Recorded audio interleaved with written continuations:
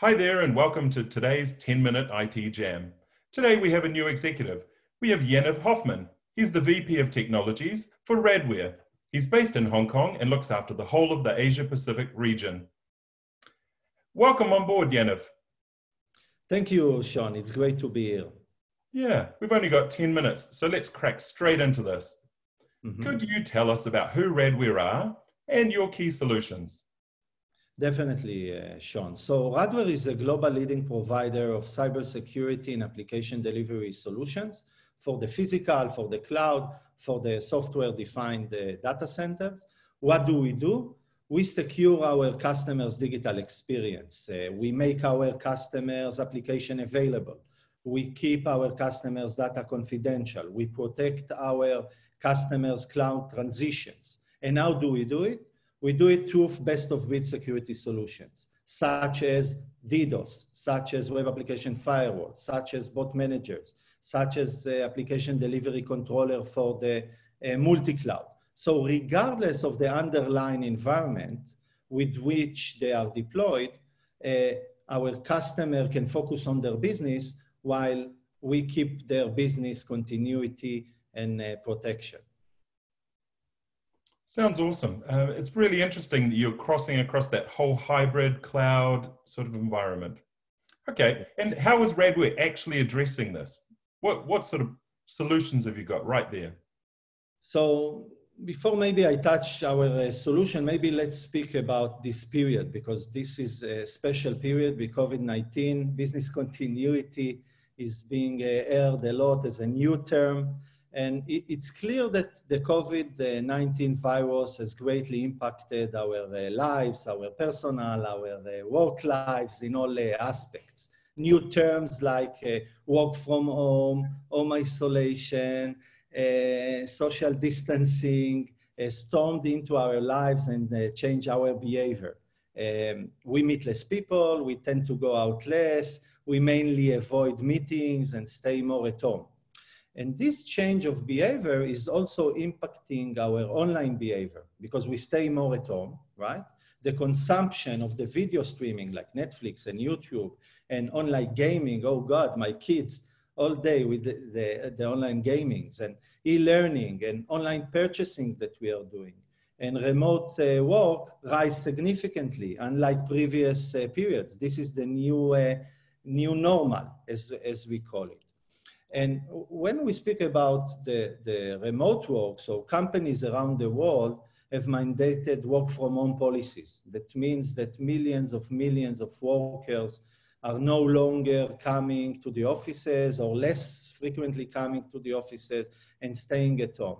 And one use case that I want to share with you that many of our customers are approaching us uh, about is the use of the SSL VPN or remote desktop protocol. So we definitely see across, uh, across the world, not only in Asia Pacific, but also in uh, North America and, and Europe, that it's gone up by 30 to 40%. And this signals the scale of working from home. But it also means that remote access has become the most significant IT resource out there, and we must ensure its availability. Otherwise, we are risking the productivity of the organization and all of our employees. And when we look, and we have a research, uh, a very large and wide uh, experienced research team, when we look at the, at the entire statistic, the internet traffic across the world, we see significant increase. We see in the US, for example, 40% increase uh, since the beginning of COVID-19. We see in Europe, uh, in countries like UK or Italy, the traffic is roughly doubled, and very similarly, uh, we see it in APAC. Um, and now it creates, in actually, um, the, the challenges and, and the demand. And let, let me speak maybe shortly about it, and it will, I, definitely it will make uh, sense as I think it's very important for many enterprise organizations to, to hear this. So if I'm looking about this business continuity. Interesting. It sounds like you guys have a perfect look. Yes. Yes. I think we have a very strong uh, value proposition and unique solutions uh, that are aimed uh, uh, to the current uh, situation. And definitely we see in our uh, business, we see many customers that seek help, that approaching us, and, and we are there to support them very quickly in order to keep their business up. Okay, interesting. So, yeah. Um, tell me more on the solution side of things. Um, I, I, realize that um, you know that's a that's a perfect explanation of how business continuity and and your solutions fit into COVID. Tell me more about how Radware is actually addressing this need. Okay, so so I will uh, divide it maybe to two uh, topics. Uh, the first one is I call it as manageability, visibility, and uh, continuity. So we know that COVID-19 accelerated and emphasized even the importance of digital transformation that many organizations are currently have been uh, making. And we see more and more applications transitioning into the cloud.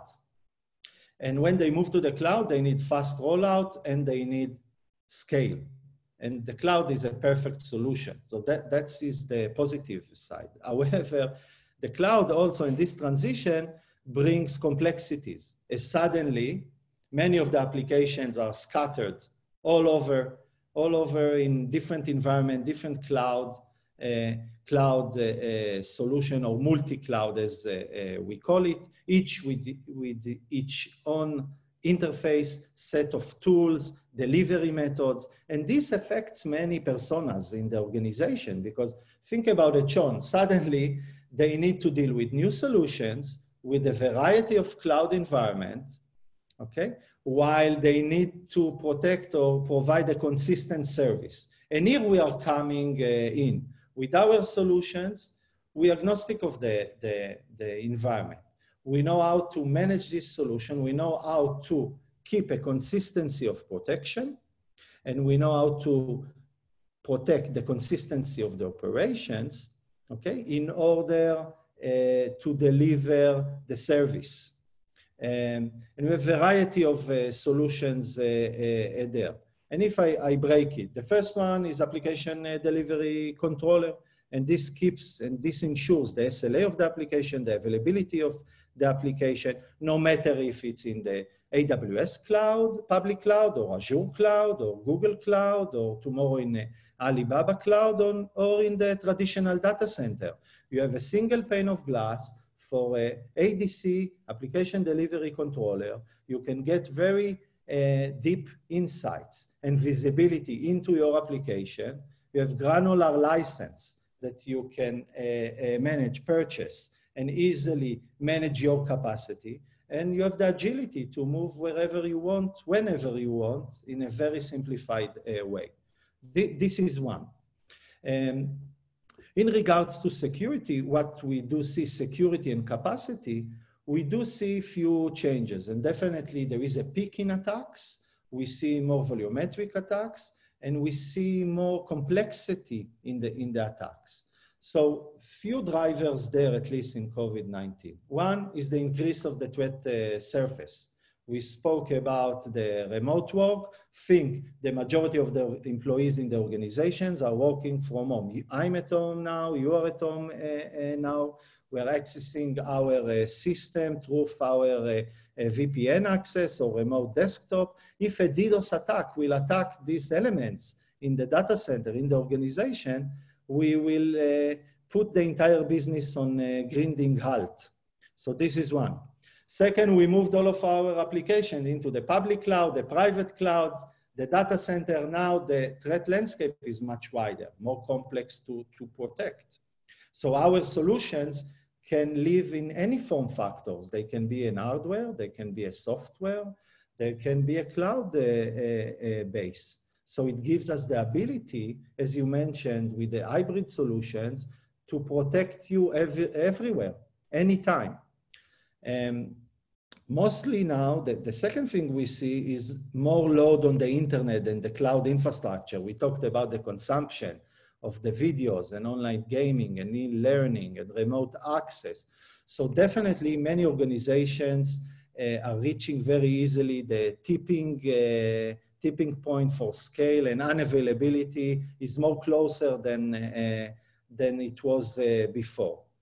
Um, so they need to prepare for that. And last but not least, we also see increase in malicious activities like phishing, like ransomware, all kinds of scams uh, leveraging the COVID-19 situation. We saw it all around uh, in, in, Japan and in the US and in uh, Asian uh, countries, but also we saw it in Australia in some ransomware, mega ransomware attacks on some mega organizations. Um, and last but not least, also bots. Uh, we see more and more bots as the technology is more sophisticated, automated, and these bots are trying to steal data. They try to take a, a account, to do account takeover, fraud, uh, and etc. So, so this is all of what we see.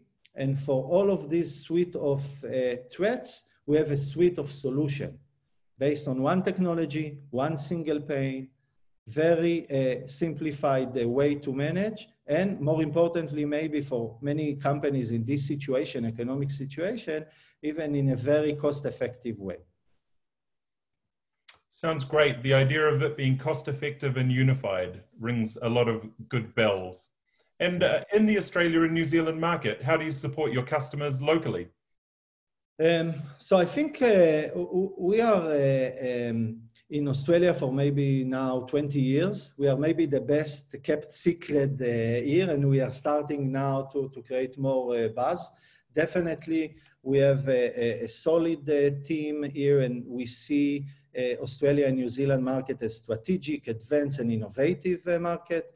We have sales teams here, engineering teams here, customer care teams here, because the user experience become at the top of their minds of any organization uh, today, because the, the consumers uh, measure the service. They, don't, they are not familiar with the product anymore. It's the way the service is given. This is how they measure it uh, and market. So, so definitely we're investing in customer care, engineering, cloud operation uh, as the entire uh, application, the digital transformation moving us more to the cloud.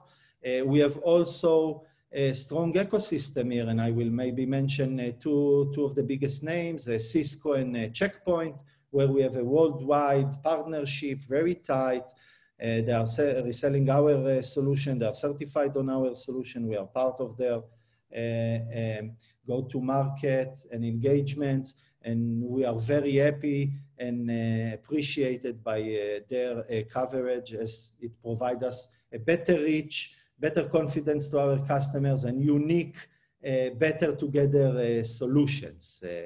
Um, last but not least, um, two years ago, we built a, a significant scrubbing center um, for security in uh, Sydney. So it's based on Sydney. It serves uh, our local customers so it can help them to mitigate uh, attacks. It can help them scrap the traffic inside uh, Australia to be aligned with the, the regulations. Uh, and it's part of our global uh, security network with more than five terabit per second. So we can handle any attack at any volume, any sophistication, um, definitely in Australia. And, and we see more and more customers that are, are joining and onboarding our service, especially in these uh, uh, days of COVID-19 and digital transformation.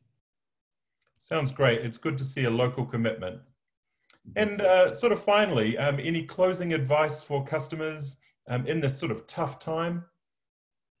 Yes, so, so when I'm trying to summarize all of these uh, changes, there are many changes due to the situ situation, but I'm, I'm trying to give the best advice to enterprise customer on what to focus on their IT environments in this period. I see four main takeaways. The first one is enable the capacity uh, expansion. You need to ensure you have enough capacity for your remote access, for the, the demand, the online demand that uh, is increasing. And we spoke, we spoke about the numbers, 40% in North America, almost double in, in, in the rest of the world.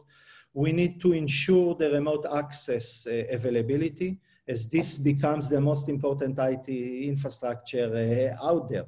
Uh, controlling the whole productivity. So absolutely infrastructure must be available at all times. So I really recommend redundant, uh, um, redundant connections, redundant uh, firewalls, redundant SSL VPN. We need to ensure that this infrastructure stays up all the time. This is very important.